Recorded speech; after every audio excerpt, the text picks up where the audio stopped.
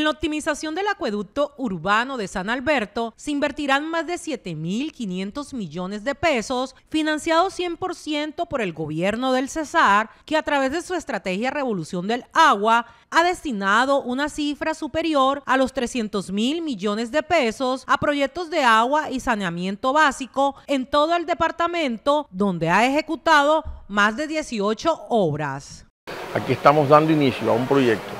por 7.500 millones de pesos aproximadamente, orientados a garantizar la continuidad 24/7 y a garantizar la calidad de, agua establecida para el consumo humano. Vamos a optimizar la planta existente, la línea de aducción, la boca toma y al mismo tiempo vamos a hacer un nuevo tanque de 1.330 metros cúbicos y una nueva planta de tratamiento de agua potable y la iluminación del área de esta planta. Realmente con esta inversión garantizamos mejorar la calidad de, vida de los habitantes de San Alberto, aumentar su capacidad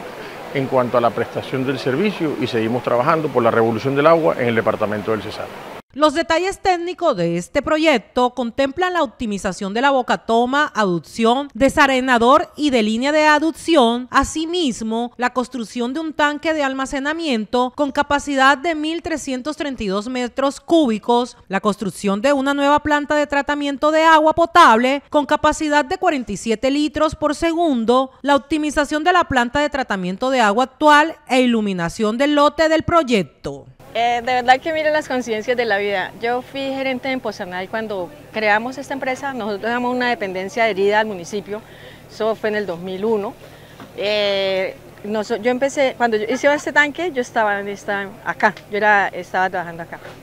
En ese entonces la población era menos, obvio, la, San Alberto ha crecido demasiado, es verdad, nosotros eh, pues ahorita nos están quitando el agua a tipo medianoche, ya no hay agua, eh, la, digamos que se va el agua, es llueve, perdón, crece el río, se va el agua, hemos durado hasta una semana sin agua, San Alberto casi toda casa tiene tanque aéreo,